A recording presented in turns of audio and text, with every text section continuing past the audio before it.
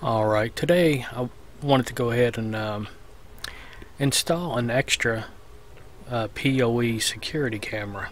And this one I'm going to install on the garage and have it facing towards the back of the house. Because the way the cameras are set up right now, you can't see the back of the house. You can just see the garage. So this is like added protection. Now the issue is I don't have internet in the garage and I don't use wireless security cameras. So I have to basically run ethernet cable out to the garage so that I will have the ability to use um, networked or PoE um, security cameras. Now I have a I'm gonna dig a little trench going from the side of the house over to the garage. Now I started digging the trench and I realized that going through the grass made it a little bit more difficult. So I went ahead and got the weed eater and of course the weed eater, weed eater battery is inside the garage, inside the house because I had them put up for the winter. So I went ahead and got the battery, started weed eating as you can see right here and just basically cutting a small little path all the way down to the dirt from the side of the house all the way to the garage.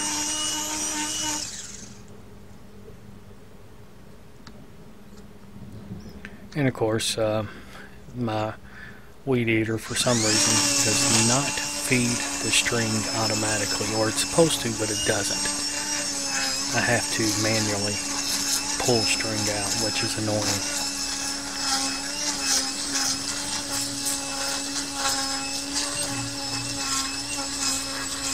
Of course, we've had all this rain pretty much the past couple of weeks, but it hadn't rained in like three days, so the ground wasn't soppy wet, but it was still very soft, which in a lot of ways made this a lot easier, because digging a little trench in soft dirt, obviously a lot easier than digging in hard, dry dirt.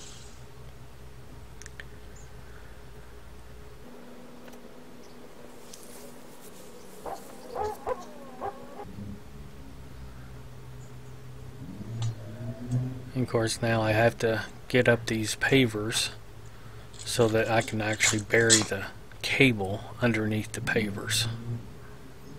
And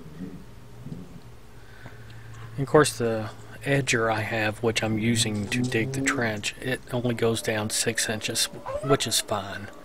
I mean it's just an ethernet cable. If for some reason it gets damaged at some point in the future it's no big deal. I mean it's like $39 for 250 foot of Ethernet cable. Now this Edger, I bought it from Amazon and I think it was like $40.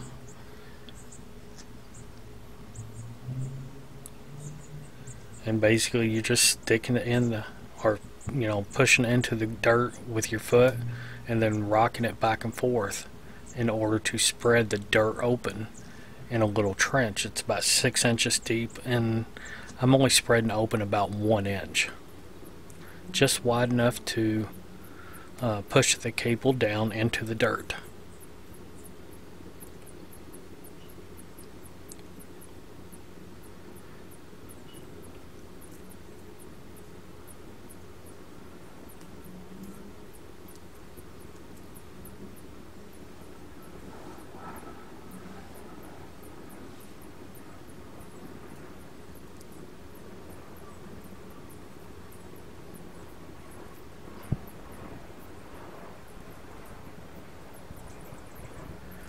And actually, this, this part right here, uh, the trenching, it was probably a little bit easier than I thought it was going to be. This first time I've done anything like this, you know, as far as burying cable.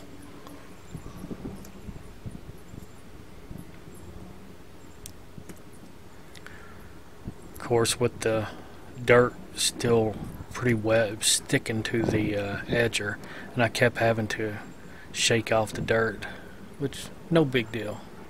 One of those things to be expected.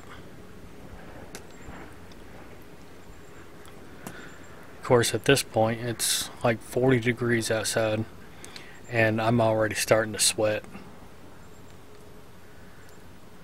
I don't know why I didn't go ahead and just take off the jacket because I was already at this point hot. You know how it is, fat people like me, we get hot easy.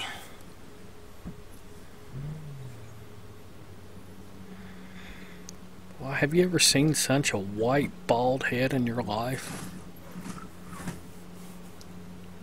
Looks like I'm a fat, overweight vampire or something as pale as I am.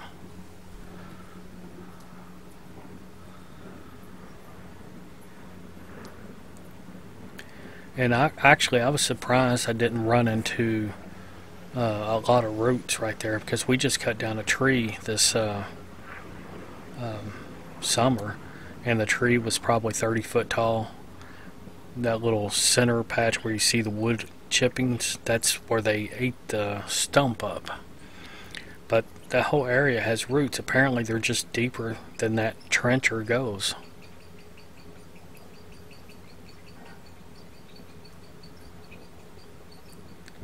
And I will probably take and put another camera up front pointing at the front of the house.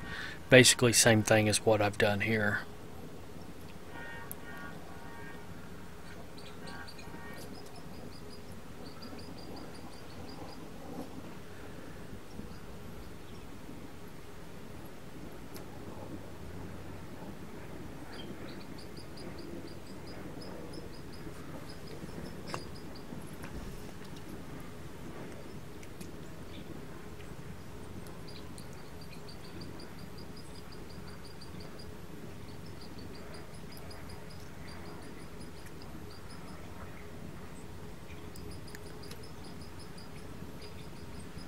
The only issue with like rocks and stuff was right at the end because that whole area used to be covered in gravel years ago.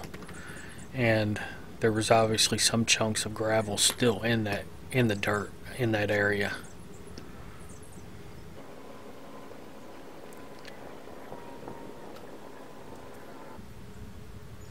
Now that I have the trench dug, which I should have done this part first, but um, now I'm basically just drilling a hole so that I can uh, start to mount the camera to the side. And yeah, realistically you should mount the camera up high where people can't reach.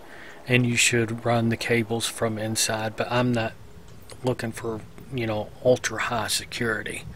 I have one camera pointing at another camera, so if somebody messes with one of them, they're going to get called. I mean, it's just that simple because you can't go to one camera and not be seen by another camera. That's how I have my setup.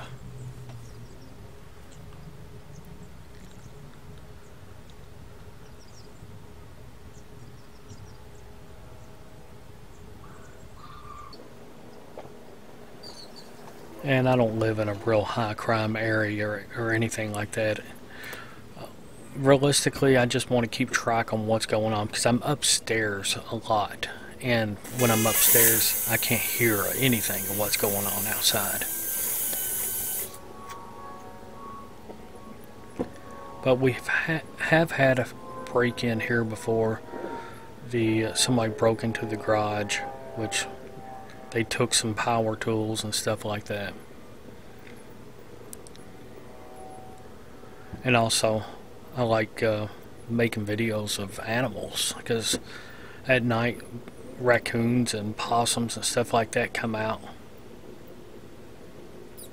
And even the occasional deer I will see out in the front yard.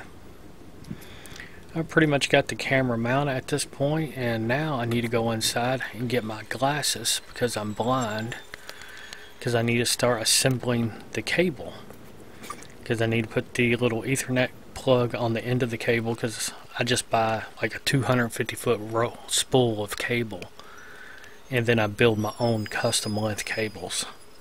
And the cable I have it's made for direct burial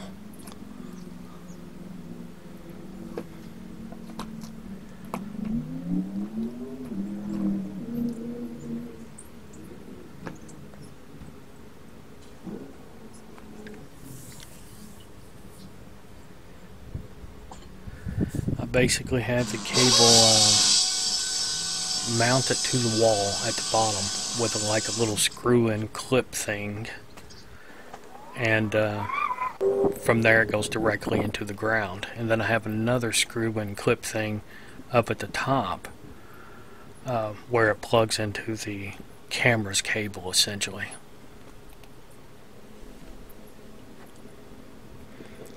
I didn't actually plan on making a video about this until I was pretty much about this point, this far along. But I figured I had one camera point at me nearly the entire time, and I'm soon going to have another camera as soon as this one gets plugged in and all that stuff.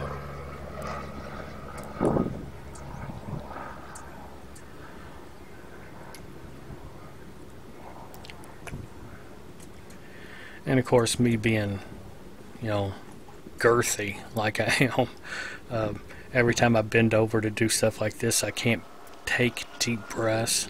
I'm having to breathe shallow. So I get out of breath easy doing those things. And you'll see it here in a minute. I'll, um, whenever I'm actually pushing the cable into the ground, I will bring my chair out here because I've had this idea. Well, if I'm having trouble breathing because I'm so heavy, because I'm bent while bending over, then I'll just sit in a chair and then push the cable in. But that didn't work out very well. It actually made it worse, so I end up abandoning that idea.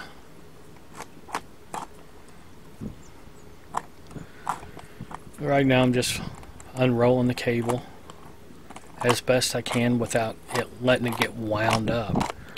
And um, running it over to the side of the house where I have a connection for my ethernet.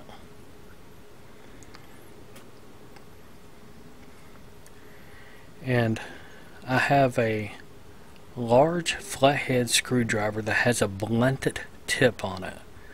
And I'm using that to push the cable into the ground and that actually worked pretty good. And the uh, sleeve on this cable is very, very tough because it's made for direct burial. So there's virtually no chance of uh, that screwdriver damaging the cable.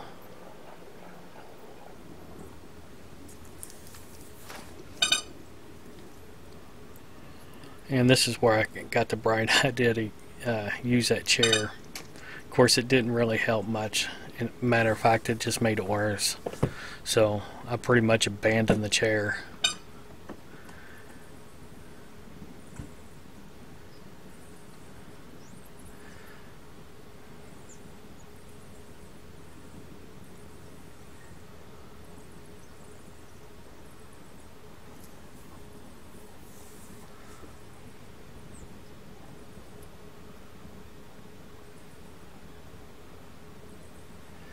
That's what years of driving a truck and poor decisions does to you. You get fat.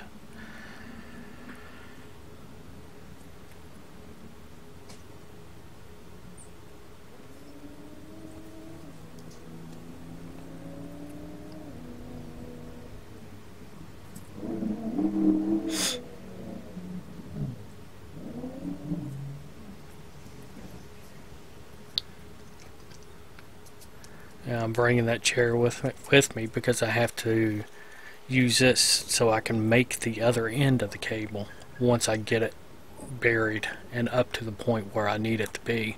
Unfortunately, I don't have a camera angle of uh, what what I was doing over there because I didn't think this. I didn't think about all this before I set out to make it, make this video anyway.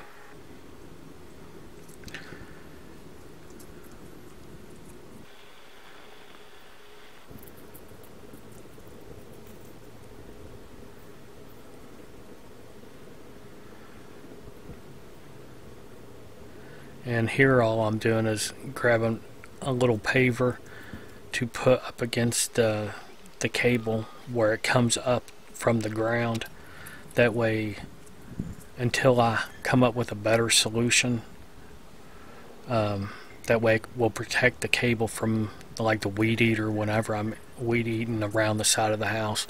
But more likely I'll have this a better solution uh, I'll, have a better solution by then anyway.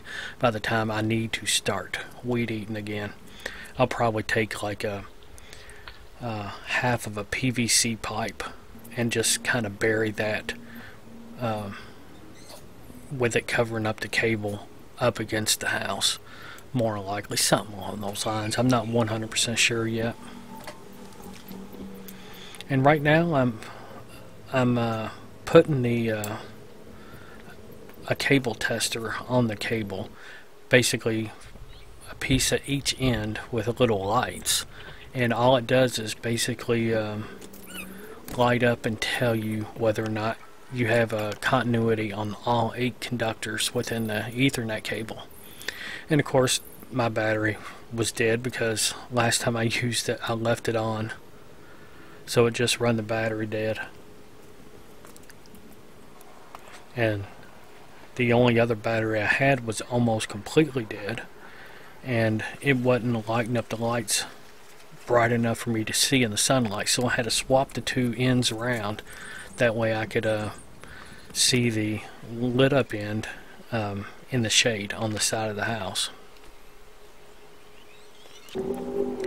And here I went inside to see if the camera was working. And then I realized I forgot to actually unhook this from the tester and then hook it up to the camera. That was a goober move on my part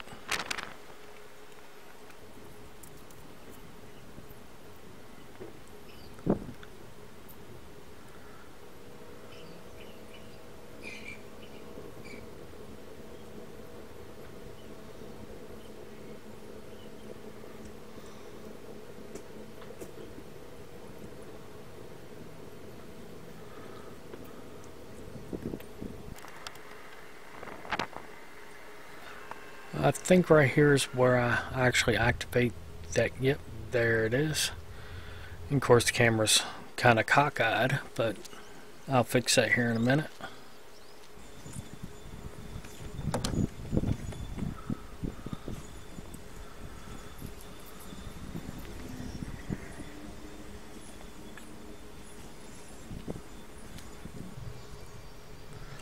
And I'm loading up my uh, software on my phone that way or my NVR on my phone that way I can see on my phone what the camera sees.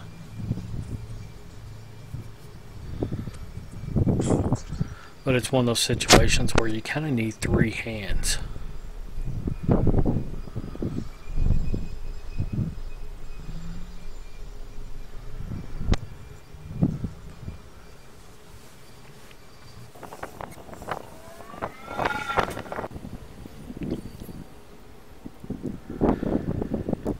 Now I'm just basically stepping on the cable and uh, kind of closing up the uh, trench.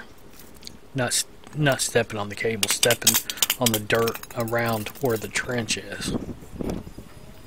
And just kind of squeezing the uh, trench closed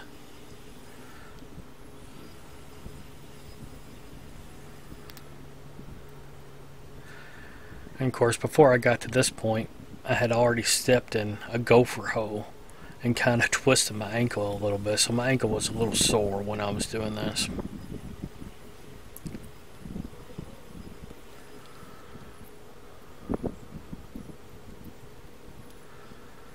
But give it a few months and you won't even be able to see, well, you'll be able to see it because the grass hadn't grown, but um, once the grass starts growing, about a month into spring, you won't even be able to see that there is a, a trench dug there.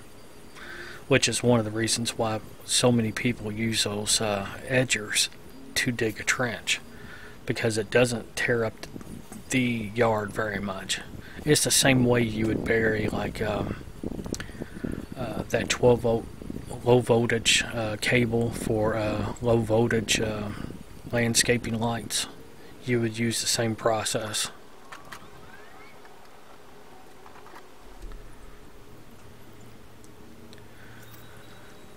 And now at this point I'm just kind of cleaning up.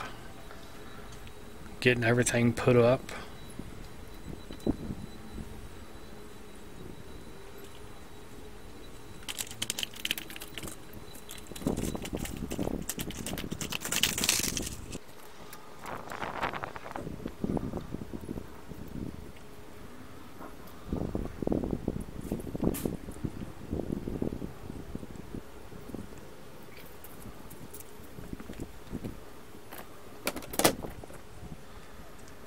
Throwing away my old battery that didn't work that I run dead, putting up my cable. I probably have about oh maybe 180 feet of cable left.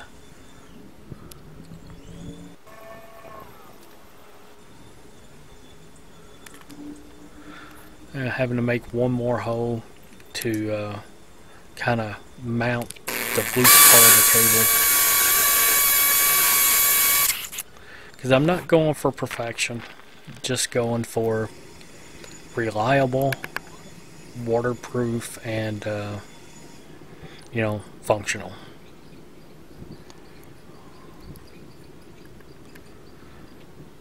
I'm definitely not a professional. Far far from it